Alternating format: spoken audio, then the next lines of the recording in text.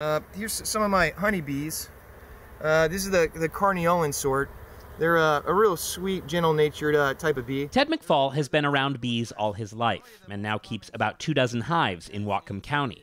And his appreciation for these creatures is why what he found in November of last year hurt so much. Dead bees littering the ground outside a hive near Custer. As I looked a little bit closer, I noticed that they had their heads chopped off. They had, had been totally slaughtered. The only real explanation in my mind that it could be is the Asian giant hornet. The Washington Department of Agriculture can't confirm that because none were found there, but says the first Asian giant hornet in the U.S. was found at the start of December just a few miles away one of several collected in Whatcom County. It's pretty certain that we have uh, a nest established somewhere in Blaine. And that's a big problem. These hornets can tear through honeybees with such ferocity, it earned them the nickname murder hornet in some circles. And this is our window, experts say, to keep them from establishing in the U.S. Once they latch onto a colony, it's pretty much dead. Uh, you know, two or three or, you know, six Asian giant hornets can take out 30,000 honeybees in an otherwise healthy hive. The Department of Ag is setting experimental traps right now looking for queens, which can be 2.5 inches long.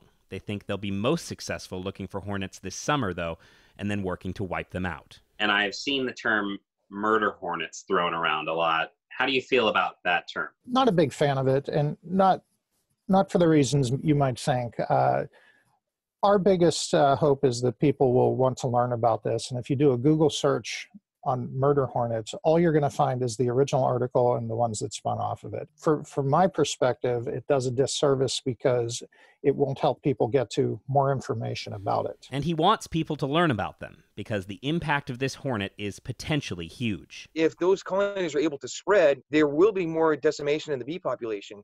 And of course, the bee population is intimately linked with the food supply. Ted feels a little conflicted about the nickname, but less so after seeing what happened to his bees. On a personal level, I do hate those Asian giant hornets so much that I have no problem calling it a murder uh, hornet myself. Michael Crow, King 5 News.